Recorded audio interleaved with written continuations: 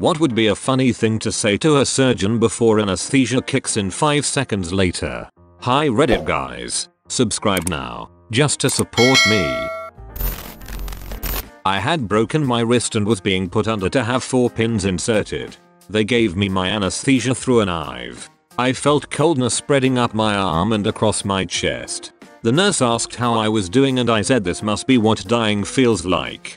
I heard her say oh my god, then I was out. So did you die? Yes. My condolences. Row. I actually have a relevant story that happened recently. As I was getting ready to go under they were placing a device in my mouth to keep me from biting down on the scope they were going to use for the endoscopy. Think medical ball gag, but a hard plastic ring, instead of a ball. As the gal was placing it and I asked, wait, what's the safe word? I heard a good amount of laughing as the world turned to black. Um. How do you keep a surgeon in suspense? I had just woken up after having my shoulder worked on. I was in and out of consciousness for a bit and just generally freaking whacked out. I guess I shifted in the bed and moved the blankets a bit and exposed myself as the nurse came in. She smiled and moved the blankets back. I apparently told the nurse you saw mine. Do I get to see yours? My wife was in the chair next to the bed. I remember thinking the nurse was smoking hot. I woke up and she told me she was flattered. I have no idea what I said. Before going under for wisdom teeth the doctors said I might feel funny. They pushed the drugs and asked if I felt any different.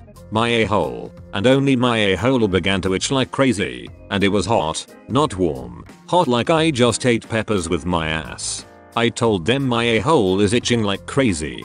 The assistant was really bad at holding back a laugh. The doc resisted mightily, but he too succumbed to my newly discovered b-hole emotions. As the anesthesiologist was putting me under, he just said I'd start to feel sleepy soon. I asked him aren't I supposed to be counting back from 100 or something? He replied I don't know, I must have skipped that class. Being an anesthesiologist must be awesome as you can always get the last word in.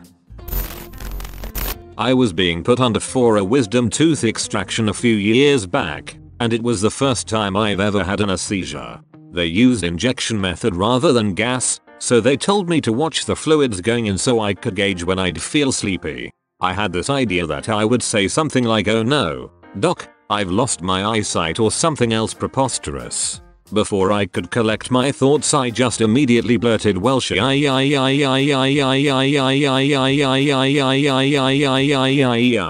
my voice progressively getting lower and passed out. Last time I went under, as I started to fade, I said, you're gonna have to drive. I'm fricked up. Probably came out, you're gonna have a drive. I'm fuidum. Method acting. I like it. Just before I blacked out the anesthetist said to me this is the stuff that killed Michael Jackson. Waking from anesthesia one time I heard someone say his blood pressure is a little high then I mumbled that'd be the anesthetist's assistant's fault. They then kinda startled asked quickly why is that becoming slightly more coherent I continued with she's really hot. They all laughed and said he'll be fine and released from theater. Awful lot of white people in here. Me. After being sedated for a colonoscopy. This is even funnier if you're also white. Even funnier if you're the doctor. That reminds me of the last colonoscopy I had. The sedation didn't take and I woke up several times during the procedure yelling in pain and confusion before I conked out for good. When I woke up the doctor tried to talk to me about how I was feeling, but I was so upset and freaked out I hissed at him then refused to speak at all when I got my wisdom teeth removed. Doctor. Alright so you feeling that sedative yet? Me. Yeah a little bit. I bet I can stay awake though. How long can people usually fight it? Doctor. Not long. Good night. Me. Blackout. I remember laughing when I woke up, because that was the last thing I remember. I had this exact same conversation. The only difference was I woke up halfway through them taking out my wisdom teeth. My mother could hear my yelling from the waiting room.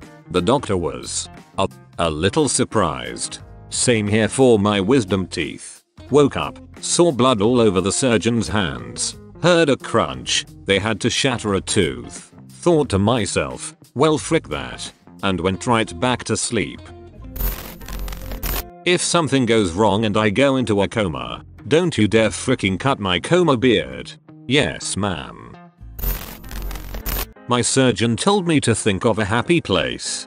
Then he asked me where it was. The Simpsons kicked in, and I told him it was the happiest place on earth.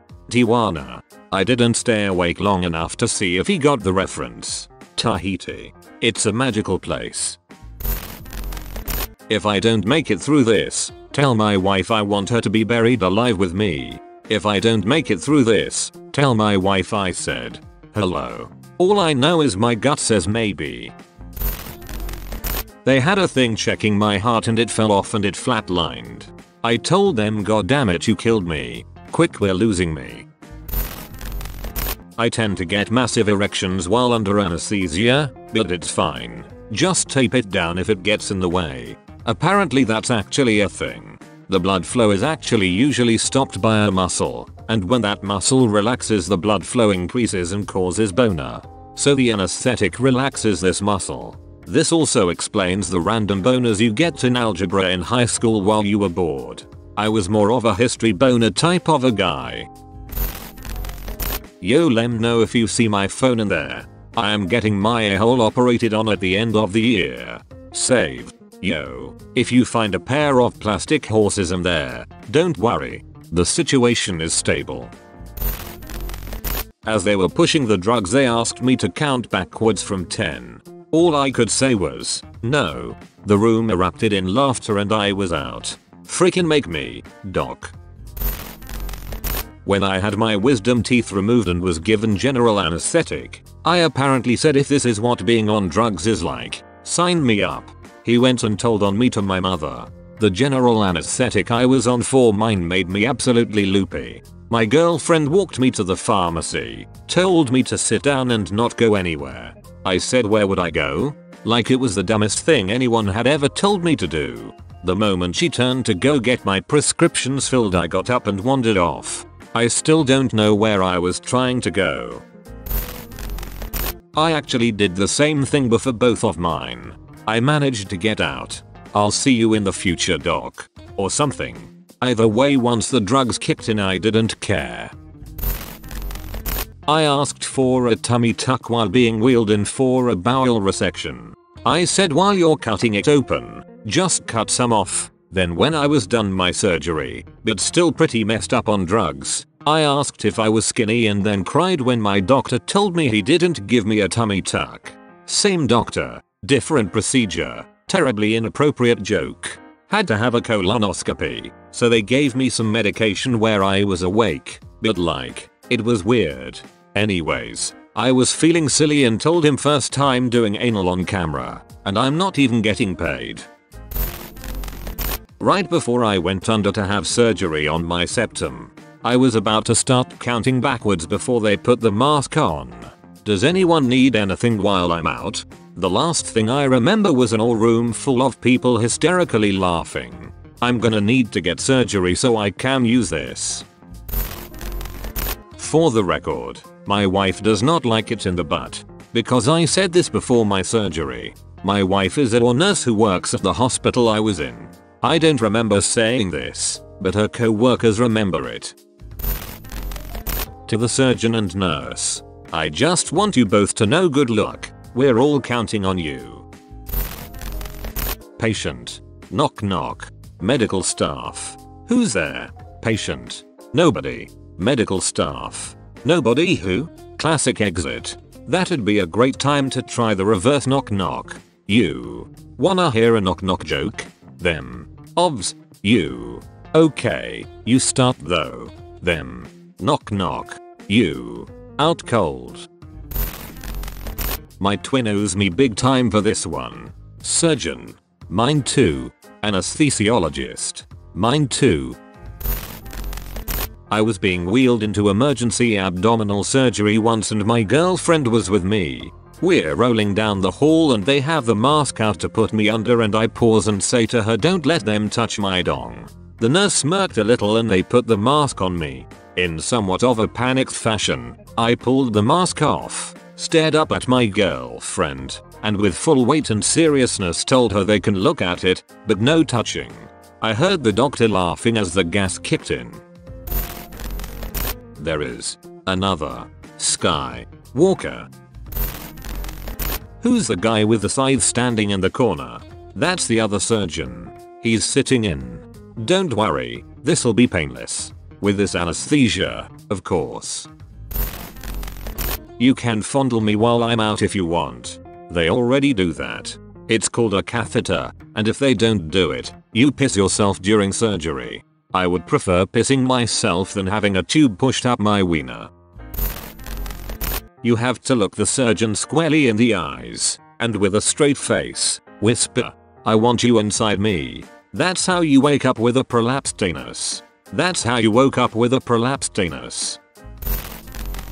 Okay Reddit guys, subscribe now, just to support me.